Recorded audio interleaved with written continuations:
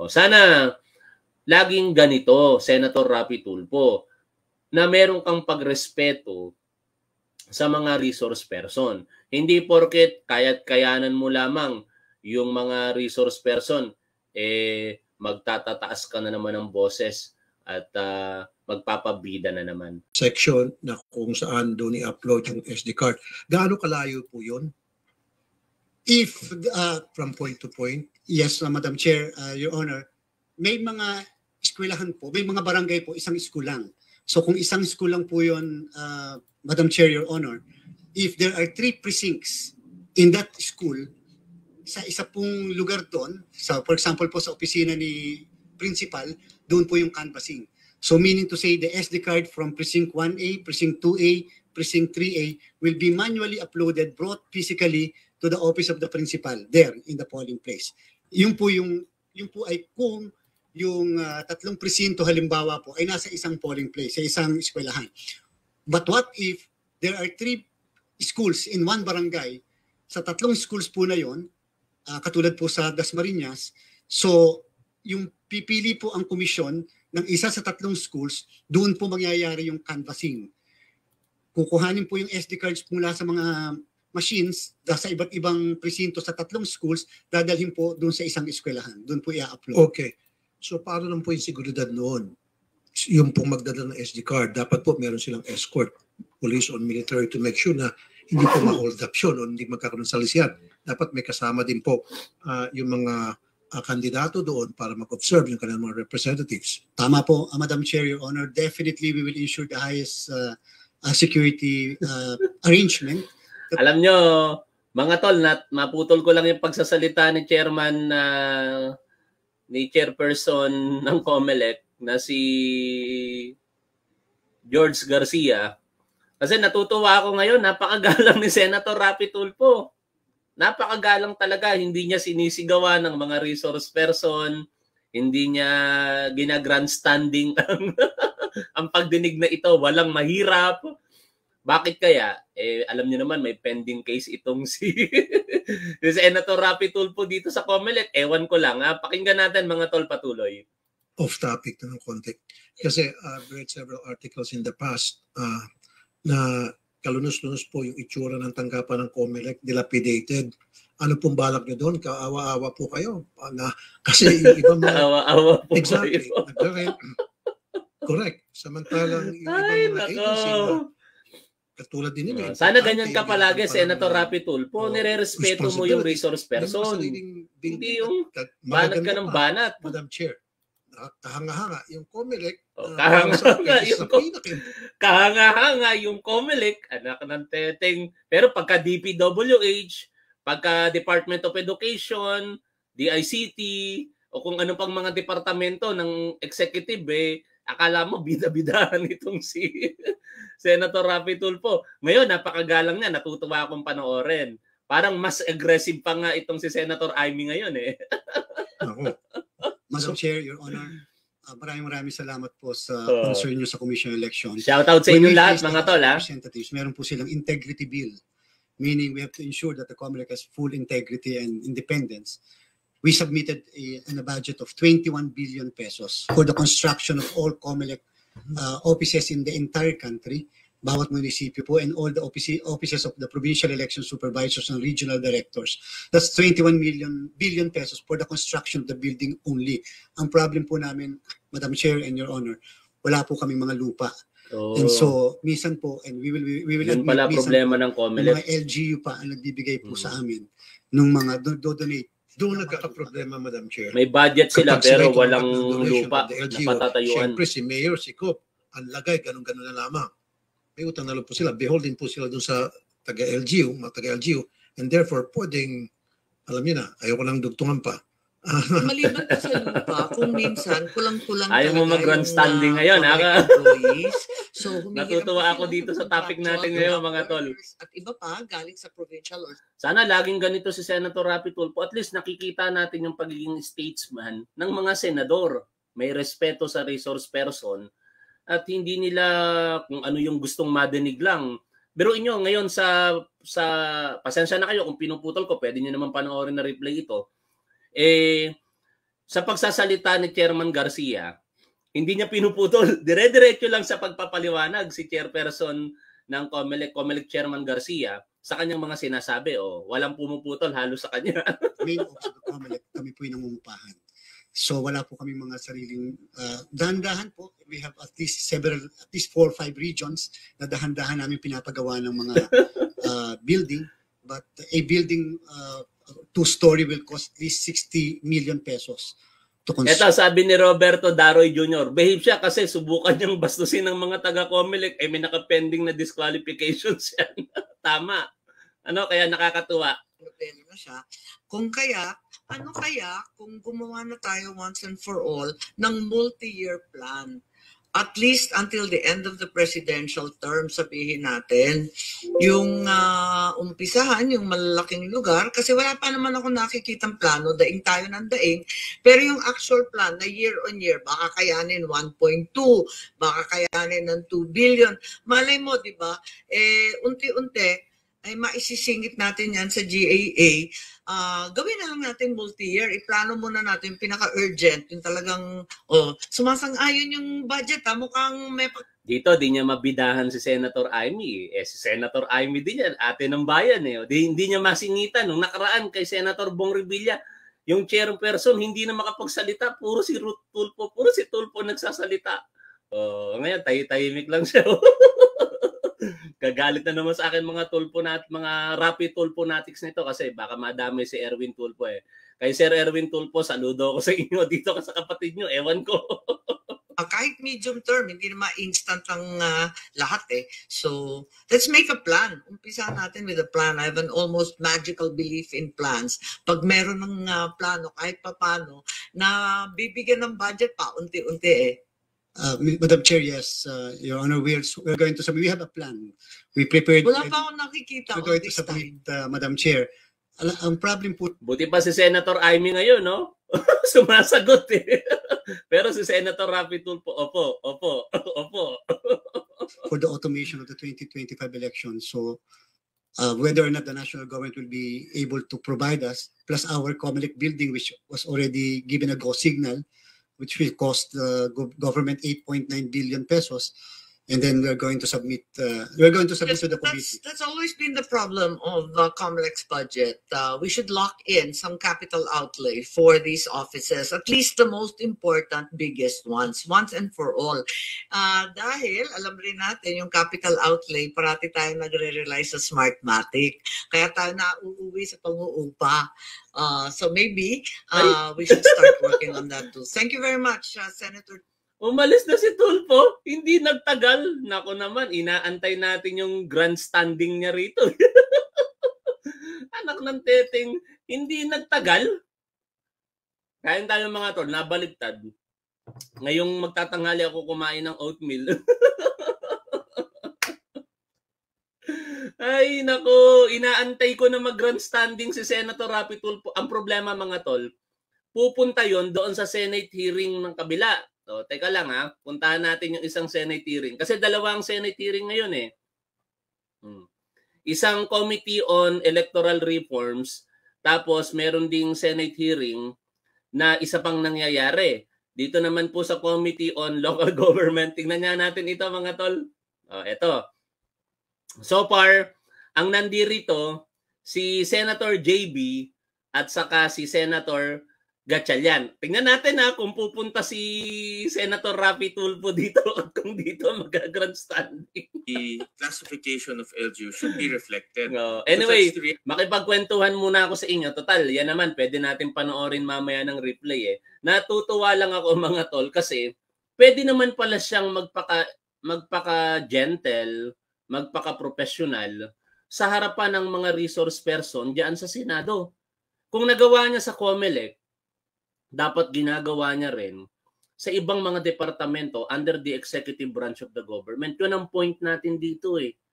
O porkit ba bigatin itong nasa harapan nila si Senator, si Chairperson Garcia, hindi niya mapagalitan eh. Hindi niya hindi niya magawa yung pinagagawa niya nung nakaraan doon sa taga taga DPWH mga tol naalala niyo yon pinagpapagalitan niya yung mga taga DPWH at pinagpipilitan niya na siya'y tama. Lalong-lalo doon sa sa right of way ng mga informal settlers. Tapos yung mga taga LGU, taga MMDA, pinapagalitan niya. Pero dito, tiklop siya mga tol. tiklop siya rito kay kay Chairperson Garcia at sa iba pang mga COMELEC officials. Opo, opo, wala siyang ginawang maganda, wala siyang magginawang hindi maganda na pananalita at hindi niya sinigaw-sigawan yung mga resource person. Pero tingnan natin kung pupunta, kung lilipat dito sa kabilang committee itong si Senator Rapi Tulfo. O shout out muna tayo, kwentuhan muna tayo mga tol. Nagsasaya lang ako ngayon. Yung topic dapat natin eh mamaya na natin pag-usapan kasi dapat ang topic natin this live streaming eh yung five-man panel na binuo po ni Secretary Benhur Abalos hinggil po sa mga third level PNP officers. Eh, mamaya na po natin pag-usapan niya. Nanonood kasi ako ng Senate hearing, dalawa. Itong Committee on Local Government saka itong Committee on Electoral Reforms. Nakita, ay nako, eto na mga tol. Eto na. eto na si Senator Rafi. Pakinggan natin ha. of the LGUs. No? Eto na siya, tapos na. ako, Baka uh, Eto yung you might uh, have any concern po. natatawa na si Senator JB. Uh, Ayan, ayan. Mr. Chair. Tingnan uh, natin. opening statement. Good morning, Mr. Chair. Senator Yan. J.B. Ejercito. um, Senator Win Gatchalian. Uh, Oh, mga tol, nandito na siya sa ibang committee ha. Hindi na ito COMELEC ang kaharap niya. Tingnan natin kung magtataas na naman ang boses to. in the bills being considered in today's hearing, in particular Senate Bill 1530 or the Automatic Income Classification Act for LGUs. Ang ating lokal na pamalaan ay mahalagang sangay ng ating gobyerno. Sila ang pinaka nadarama ng ating mga kababayan at nakaunawa ng kanilang pangangailangan. Habang tayo dito sa Senado ay nagsisikap na ipanukala ang mga batas na tingin natin ay makabubuti sa buong bansa. Hmm, mukhang Ang tumataas na boses. naman, Ang kadalasan na atasan, Mukhang tumataas na boses. Pinatutupad nila ang mga batas. Anong pair-pair? Hindi ako pair dito. natin Pair-pair ka. Porque tinatamaan yung rapid mo. makatulong sa mga tao. Para magawa nila ito, kailangan bigyan natin Lumayas sila ka dito. ng Aguilar. Priscilla Aguilar, layas. And there is no other clear and concrete support than providing them with the appropriate financial capabilities. The automatic income classification will be able to provide such resources, which would correspond to the needs of a particular LGU. Their income classification will establish the entitlement of local officials and employees to salary and other emoluments, among others. This would lead to a more targeted and effective implementation of social programs and services, thereby maximizing their impact to the lives of the people they serve. But as we tackle the automatic income classification of LGUs, let us not forget that the Constitution enumerated our local government to include our provinces, cities, municipalities, and barangays.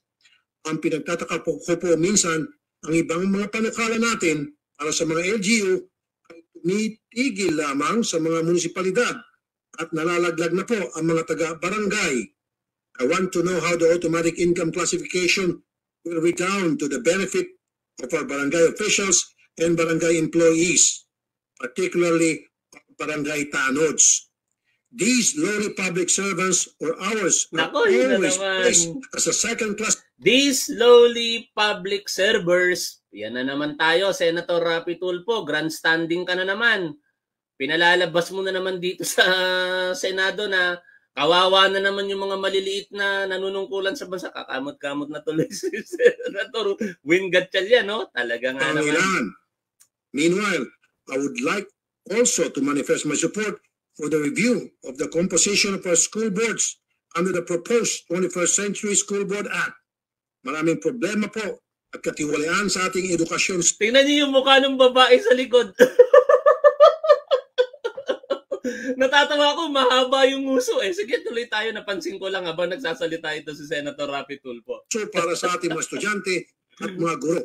We must remember that it is the policy of the state to ensure that all students, regardless of their background or circumstances, have access to quality education by promoting inclusive education through local leadership and accountability. The government can address inequities in the education system and promote greater social cohesion and understanding. Salamat po, Mr. Chair. Thank you, Sendafi, for joining us uh, this morning. Uh, we have already Hindi tumagal dito sa hearing ng ano eh, ng electoral reforms eh. Puro big time yung kausap dito eh. Comelec, eh, ano? Kasi, Madam Oh. Chair, as Pag hindi registered Si Chairperson voter at maliwanag sa birth Garcia certificate, ng na, Comelec, oh. na. Kasi kayo rin ang mahihirapan sa bandang huli eh. mas may paninindigan si Senator Amy kanina. Nababara-bara niya itong si Chairperson Garcia. O eto na. Ayan na. Bumanat na si Tulfo. Nagtatatanong na. Kasi nga po, karamihan sa mga barangay tanod, ang kanila pong allowance, Ayan may na 300, may 500 a month. At hindi naman po siguro sapat yan mga bumuhay ng isang pamilya. Eh, diyan, may punto naman siya. but May punto naman siya diyan kasi al- ako alam ko rin, dati akong pulis, nakakasama ko mga barangay tanod, magkano lang naman ang sahod ng mga barangay tanod. Uh, uh, in fairness kay Senator Rapi Tulfo, may punto siya, dapat talagang taasan ang sahod ng mga mabababa po nating manggagawa sa barangay. Pero tingnan natin, sana naman, Senator Rapi Tulfo, kung ano yung naging pagharap mo kanina sa mga taga-commission on elections, ganun din yung gawin mo dito sa harapan ng mga bisita dyan sa Committee on Local Government. just 500 pesos. Bakit po ganun? Kada buwan. Ms. Pamela Quizon of uh, DLG, sa DLGF, the DOF. Mr. Chairperson and Senator Tulfo, Senator Gatchalian, the salaries or the allowances being given to the barangays are within the purview of the Department of Budget and Management. However, uh, we would like to take note that if the LG or the mother LG will be upgraded, then the barangays allowances are also follows. Uh, on the issue of whether barangays are included in the reclassification, we have been uh, doing groundwork that barangays be included. However, uh, we are taking note that we do not have, as of this time, statement of receipts and expenditures of all the barangays. We partnered with the DILG, National Barangay Operations Office, but up to now, we only have around 18% submission of the SRE of all the barangays. And given that we cannot have a reference point or values on how to classify barangays, Mr. Chairperson. Salamat, Mr. Chair.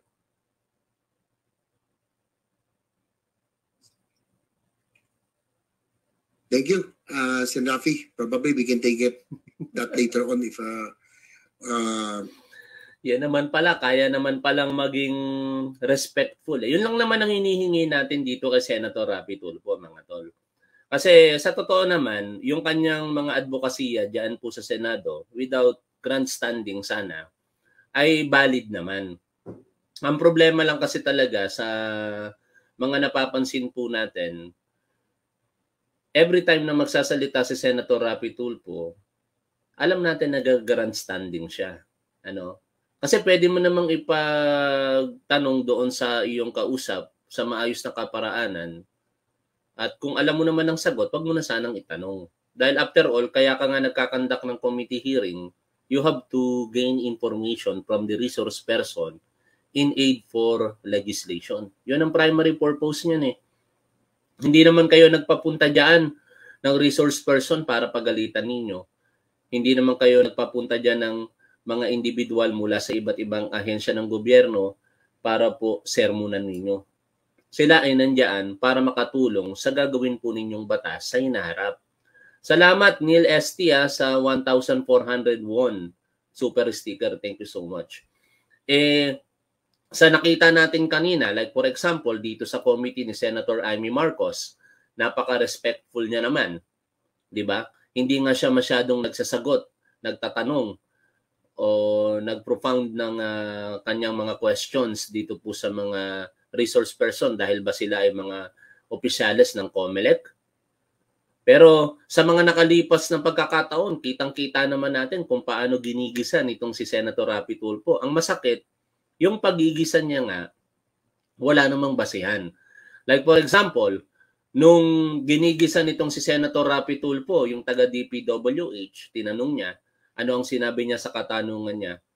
Eh, kayo ba ay nagsagawa na ng inspeksyon sa mga kababayan nating mga mahihirap, mga informal settlers, sila yung tatamaan kapag ka nagkaroon ng malakihang paglindol o malawak na paglindol dito po sa ating Kalakhang Maynila. O ganun pa yung pag, paggamit niya sa mga kababayan po nating mga mahirap. Tapos nung sumagot yung taga DPWH, sinabi yung kanilang mandato, nagpo-Poncio Pilato ka o naguhugas kamay. Paano maghuhugas kamay ang DPWH kung ang kanilang mandato ay para po sa public highways at public structures? Yung mga pribadong uh, tahanan ng ating mga kababayang Pilipino na hindi po illegal kasi ang informal settlers illegal po yan eh. Eh nakasalalay po yan sa local government units. Sinabi ngayon ng DPWH na ang mandato na yan ay nasa LGU. Sinabihan niya kagad yung taga DPWH ng nagpo-Poncio Pilato ka tapos ayaw niya ng pagsalitain. Lumipat siya, o sige, tinuturo niyo sa LGU. Nung magsasalita na yung abogado ng LGU, eh, hindi niya halos pagsalitain kung ano lang yung gusto niyang sabihin, uh, gusto niyang madinig, yun lamang yung kanyang uh, gustong mari, uh, gustong sabihin ng tao. Tapos nung nagpa, nagsasalita na, uh, sinasabi niya uh, to make the the to make the story short parang ganun ano to cut the story short or blah blah blah eh direct to the point direct to the point eh paano nga makakapag direct to the point yung LGU kung yung mismong sasabihin niya ay yun lamang ang kaparaanan para maipahayag sa Senado yung kanilang mga mandato. Oh. Yon ang point natin dito. Kaya kayong mga rapid tool fanatics, pasensya na kayo kung tinatamaan ng idolo ninyo. Ako naman, maka-Erwin Tulfo ako. Ano, hindi hindi lingid sa kaalaman ng lahat dito na ako talaga ay sumusuporta kay Erwin Tulfo.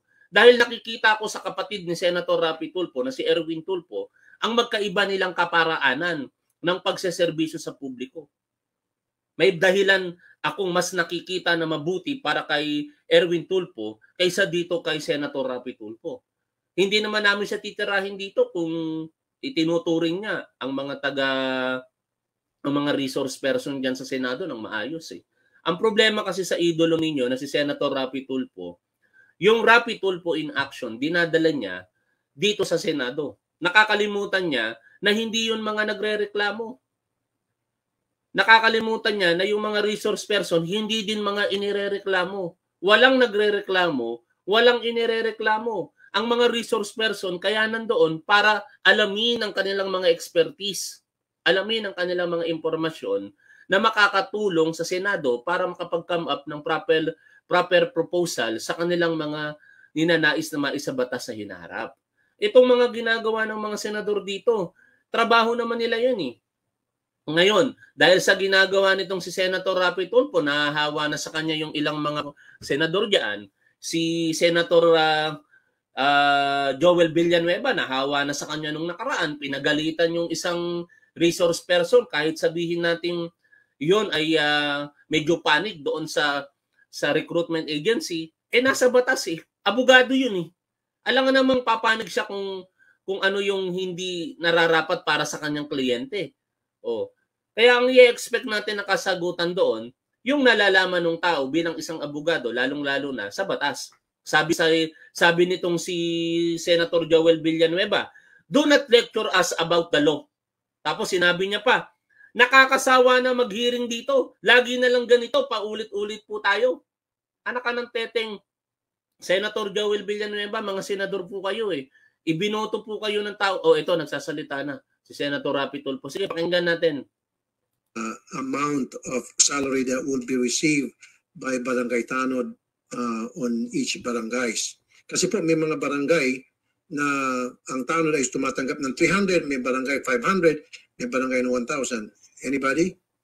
You guys didn't come here prepared. Ano po? Ay, Mr. anak ka ng teteng. Uh, Biruin nyo, ah hindi, nagkamali ako sa pagkakaintindi. Pero dapat hindi niya nasabihin yun eh. You guys did come here prepared. Hindi niya na dapat sabihin yun. Alam na ng tao na preparado yung mga yan kapag ka pumunta dyan. Talaga nga naman, oh. Downey Puno from the DILG? Yes. Uh, para doon sa pagpapasweldo sa mga tanod. Yes. Like I said, ulitin ko, may mga tanod na 300, may mga tanod 500. Ngayon, yung nakakasweldo ng 300 pesos, believe it or not, itong mga tanod na ito, napipilitan ko minsan na maging corrupt. Yes. Na manguhuli da para mapunuan yung kanilang mga pangailangan. Kuminsan, eh, nagtitinda pa ng mga illegal na mga kung ano ng mga bagay-bagay dyan. Because wala silang salary. Natutokso sila. So, can you answer Thank you very much, uh, Mr. Chairman, Your Honor. Uh, Senator Tulfo, that's probably a matter that I'll have to clarify with the National Barangay Operations Office, which is under the DILG. We were talking amongst ourselves here with the USEC uh, about whether it's DBM, uh, but for purposes of clarification, I will go back to the NBO regarding this matter, and uh, with the permission of uh, Senator Tulfo, I will uh, get the answer to you as soon as possible, Senator. And another thing is, walang mga work benefits sa mga tanod kahit man lang sana health benefits, SSS, o PhilHealth. Kasi I, I know, karamihan sa kanila ay co-terminus kay chairman. Pero dapat yan yung mga bagay na, na pwede natin baguhin na ipo-professionalize na natin yung mga tanod. Because again, like I said, they're the first line of defense. Uh, kapag may mga problema, silang unang takbuhan natin. And then, uh, force multiplier din sila ng PNP. So nagagasgas po sila, pero yung sweldo na tatanggap nila, it's not worth it doon po sa trabaho na ini-input nila para sa barangay. So nakikita ko po, dihado palagi mga tanod, samantalang sila chairman, pasintabi kila chairman, kila kagawad, may mga budget, may mga uh, pera yan pa, budget para sa mga project, and yet, ito mga tanod, wala, kaawa-awa sila. Kapag pupunta ka po doon sa Nag-grandstanding na naman. 'Di ba? Alam na yan ng tao, Senator Rapi Tulfo. Ngayon, dapat ang ginagawa mo, likumin mo na yung mga informations na yan para kayo makapag-come up ng batas na magbibigay ng proteksyon sa mga barangay tanods. Ano, tingnan nyo, ini-elaborate nyo lamang yung problema ng sitwasyon. Eh. Alam na nga iyon eh. Why come up with a specific bill na magbibigay ng proteksyon para sa mga tanod? Eh kaya nga kayo nandiyan, hindi nyo na kailangan ulit-ulitin. Ano na naman ang purpose dito nitong si Senator Rapi Tulfo? Grandstanding na naman. po ang naging concern ng DLG. Yung po dapat, tinututukan din natin yung kapakanan ng mga maliit nating kababayan na kung sino talaga nagpapapawis. Pasensya na po. Samantalang yung mga taga-DLG natin dyan, nasa aircon opisina, Oh. eh, for all we know, baka Comparing na naman. Kaya ka nga dyan nandiyan, Senador Rapi Tulfo eh. Lalabas na naman ngayon sa harapan ng publiko na inaapi ang mga tanod tapos ang mga nangaapi mismo yung mga kapwa nila nasa LGU. Oh, binibigyan mo na naman ng idea ang mga Pilipino na naniniwala sa iyo na hindi pantay-pantay ang trato dito sa Pilipinas. Ngayon, kung sa tingin mo hindi pantay-pantay, mag-come up ka ng isang batas na magbibigay ng protection o gasinong sabihin mo, o Senator Rapi Tulfo, Principal Author, Banang, Barangay Tanod Act of 2023. Oh, nakalagay doon sa Barangay Tanod Act of 2023 among others welfares and benefits, professionalization of barangay tanods. Dapat ganon. Hindi na yung kailangan pang grandstanding, grandstanding. Musina who hand- handles barangay affairs for the department. I'm sure he, kasi ano rin po siya, he was a, uh, sa, sa barangay din po talaga siya, no? So, I'm sure he's he's focused on these matters as well, and I will relay your concerns to him. I know Yusek Balmosina is a good Yes. barangay chairman. Yes. He was the barangay chairman, Yes. District 2 sa Quezon City. I know this gentleman is good. Pero ang sa akin sana, sana matuloy na to at sana noong pa, pinag-isipan na natin to. Hindi yung, kung hindi pa ako magsalita ngayon, Oh, yun na. nasa makapag-isip sa inyo na Bida na naman siya, mga tol. Bida na naman siya. Hindi yung kung hindi pa ako magsalita ngayon, parang pinalalabas na naman itong si Rapi Tulfo na kung hindi dahil sa kanya, hindi malalaman ang problema na yan. Anak ka ng teteng naman, oh. Talaga nga naman. Alam nyo ba kung bakit may mga barangay tanod? Mga tol? Force multiplier ang barangay tanod. Ngayon, alam nyo ba kung magkano ang budget ng mga barangay sa buong bansa po natin? How many barangays do we have here in the country? Approximately nasa 40,000 yata mahigit na barangay nationwide. At magkakaiba ang ira ng mga barangay. Merong barangay like for example dito sa Pasig, sa Antipolo, milyon-milyon ang income. Merong mga barangay na kakaunti lamang ang income. Kaya hindi pe pwedeng magkaroon ng national law na sinasabi ngayon dito siguro, pinapahiwatig nitong si si Senator Rapi Tulfo na magpro-professionalize sa barangay mga sa mga barangay tanod. Kasi bakit? Kapag ka pinrofessionalize mo ang barangay tanod, parang parehas na yan ng mga pulis. Kailangan graduate na yan ng college. Tapos kailangan standard ang sahod. Sa tingin mo, Rapi Tulfo kayang bigay ng national government ang sahod ng mga barangay tanod? Kung susumahin natin yan, baka nasa milyon po yan.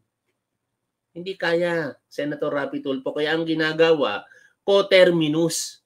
Co-terminus means kapag ka ang barangay captain nawala, wala na rin yung kanyang mga barangay tanod maliban kung ire-retain yan ng kanilang mga bagong barangay chairperson. Ngayon, kung may problema sa barangay tanod, eh dapat ang i-address dyan ang LGU. Ano? Huwag nyo din basta-basta sisihin ang LGU na porkit ito ang ibinibigay lamang na allowance sa mga barangay, eh unfair na compared sa ibang mga trabahante sa gobyerno. Kasi magkakaiba nga, Senator Rapi Tulfo. O sige nga, tuloy nga muna natin pakikinig dito. And he's the only one who's looking at me. So dapat maging ano rin po kayo, attentive kayo dun sa topic ng mga maliit na kababayan. Wag lang po yung topic ng mga Oh. topic na may kinalaman kila chairman, topic na Di ba? May- Tingnan nyo kung paano ini-exploit nitong si Rapi Tulfo yung situations, ano? Paawa effect na naman siya sa mga maliliit para makakuha ng simpati sa publiko. Ano ba ang layunin nito ni Rapi Tulfo? Baka tatakbo ito sa pagka-presidente kaya siguro ganito ito mga tol. Iboboto nyo ba? O tanungin ko nga kayo, mga tol, iboboto nyo ba si Senator Rapi Tulfo sa 2028? Tanungin nga natin sa poll, iboboto nyo ba si Senator Rapi Tulfo for President sa 2028? Pakisagot nyo nga po mga tol. O yan, nagtanong po ako sa inyo ha. Iboboto nyo po ba siya? Sa mga nasa YouTube, pakisagot nyo po sana kasi YouTube lamang ang aking poll eh. O, di ba? Dito, dapat alam nyo mga tol, bilang isang senador, natatawa na lamang yung mga staff ng ng mga senador po natin na si JB saka si si Gatchalian sa likod nila eh. Kasi bakit? Dapat realistic. Hindi porkit senador ka, maga-grandstanding ka sa harapan ng publiko, papabida ka sa mga barangay tanod. At yung mga barangay tanod naman, mapapaniwala nitong si Senator Rapi Tulfo. Oo nga naman, bakit hindi parehas ang sahod namin sa mga kapulisan? Bakit hindi parehas ang sahod namin sa mga pangkaraniwang empleyado sa ating gobyerno? Alam nyo ang barangay tanod, force multiplier, it doesn't mean na sila po ay automatically meron pong particular na standard na sahod. Marami nga po ng mga barangay dito sa atin, ng mga barangay tanod, volunteer basis lamang. Kasi more in more in voluntary basis yan eh. Kung ayaw mo maging barangay tanod, di wag ka magbarangay tanod, hanap ka ng ibang trabaho. Pero dito pinalalabas nitong si Senator Rapi Tulfo, napaka-unfair ng situations. Kasi yung iba mga staff sa barangay sumasahod ng maayos, samantalang ang mga barangay tanod hindi sumasahod sumasahod ng maayos, mga frontliner daw sila. Nasa kanila 'yun. Kung ayaw nilang kung ayaw nilang uh, mag-participate bilang isang barangay tanod or force multiplier, nasa kanila 'yun. Hindi sa pilitan 'yan. Hindi yan hindi ka nangangailangan ng partikular na edukasyon para ikaw ay maging barangay tanod. Kaya tanggapin natin na ang pagiging barangay tanod ay hindi pe pwedeng ikumpara sa ating mga kapulisan, sa ating mga frontliner na iba pa. Kung talagang gusto niyang maging bayani sa harapan ng publiko, sige, subukan natin. O, Senator Rapi Tulfo, I suggest, subukan mo, Barangay Tanod Act of 2023 Welfare Act providing funds therefore and for other purposes. O mga ganun, mga, mga ganun na titulo ng batas na maaari mong uh, sabihin o ipanukala diyan sa Senado. Hindi yung gagamitin mo na naman kung ano-ano na namang mga issue. Pagbibigay na naman ng ng kawalan ng pagkakapantay-pantay sa harapan ng publiko. Kaya ngayon, yung mga nanonood na naman dito sa hearing na ito, sasabihin na naman, ang galing talaga nitong si Senator Rapi Tulfo. Nakikita niya yung mga pagkukulang sa ilalim pero hindi niya nakikita kung ano talaga ang katotohanan na hindi realistic yung sinasabi nito. O sige, pakinggan natin. Unistar Lending and Financial Corporation, itong loan shark na pinapayagan ng DepEd na mag-operate sa DepEd at nagkakaroon po ng automatic deduction sa mga teachers kahit na hindi naman sila dapat umutang, nagugulat na lang sila, meron na agad na bawas. Maalala to ni Senator Wayne last hearing. At ang masaklap pa nito, eh, meron dapat ceiling na kung saan yung mga teachers hindi na pwedeng umutang dahil na-maximize na po yung take-home pay nila. O anyway mga tol, past 11, maya-maya magla-live tayo ulit sa Top 1 Archive. Ano? Ang gusto ko lang naman iparating sa inyo, yung napansin ko. Kasi kanina, nung siya ay nandito sa Electoral Reforms Committee ni Senator Amy Marcos, kaharap ang mga COMELEC officials, particular si Chairperson, si Chairman, COMELEC Chairman Garcia, napakagalang and respectful nga and talagang ibinigay niya yung pagiging professional sa harapan ng mga COMELEC officials. Hindi niya hindi siya nag-grandstanding.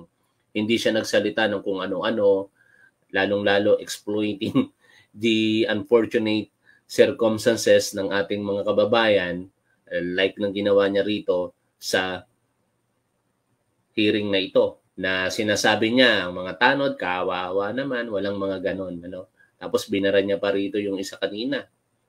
Nabara niya na naman. Dito wala. Oh, nakikita nyo, pinipili nitong si Senator Rapi Tulfo. Siya mismo ang nagpapakita sa publiko na meron din siyang pinipili. Hindi niya kayang birahin ang mga ito eh. Bakit? May pending case itong si Senator Rapi Tulfo ngayon sa COMELEC. Meron niyang disqualification case na naka buinbin dyan sa Comelec. Isinampa yon ng dating asawa niya na si Mrs. Lee Cook sa pamamagitan ng abogado na si Attorney Randolph Libayan ng batas natin. Siguro naman kilala niyo siya. Isang sikat na lawyer na vlogger o dito sa social media ngayon. O sana laging ganito, Senator Rapi Tulfo, na meron kang pagrespeto sa mga resource person. Hindi porket kaya't kayanan mo lamang yung mga resource person, eh magtatataas ka na naman ng boses at uh, magpapabida na naman. O maraming maraming salamat sa inyo mga tol ano.